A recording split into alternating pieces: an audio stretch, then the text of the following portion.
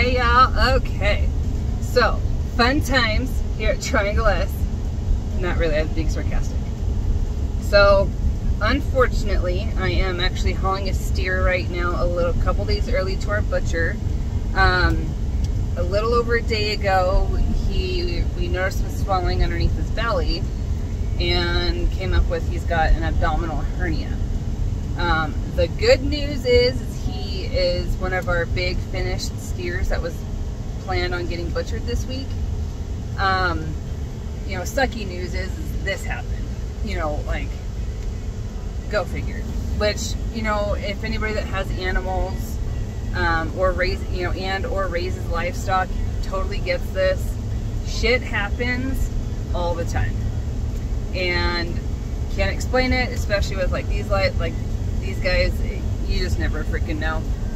Um, so fortunately, we're able to keep them comfortable, able to keep things calm and easy, um, to keep them as comfortable as we, we, possibly could until our butcher could take him, um, which is right now. So uh, got him slowly, got him loaded, um, and in the trailer, poor guy's just he's miserable. So um, we're glad to be able to utilize him and not, we're very fortunate that we weren't, we didn't waste a steer. Um, last thing we want to do is waste, you know, one, make him uncomfortable, and two, waste, waste him. That's the last thing we want to do. So we were very, very fortunate to catch this early, and our butcher was so gracious enough to be able to slip us in a little bit earlier just to do us a favor. Um, to get him all taken care of so we didn't so he didn't waste away.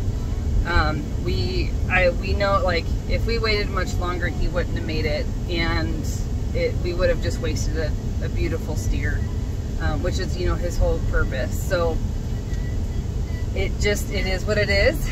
Um, bright side is we're able to get you know get it taken care of um, where he's you know no longer miserable. And also we can utilize utilize this steer before um, it go, you know before it goes haywire go bad. So that's what's happening. Good times. Welcome to Ranch Life.